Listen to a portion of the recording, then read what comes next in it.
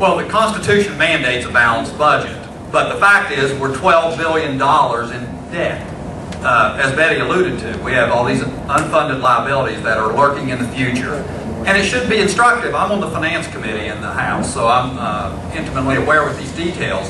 This general revenue budget this year went up not 1%, not 2, not 3, not 4, not 5, 7.5% increase in your general revenue budget expenditures for the state of West Virginia. That's wrong.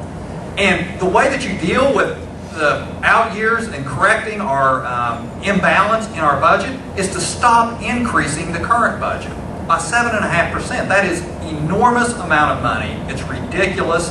And some of the things that we've done, that the legislature did, the majority party, is to give away $100 million of your tax dollars to the casinos. That's wrong. We need to put that back in the general revenue budget and uh, cut some taxes and grow our government.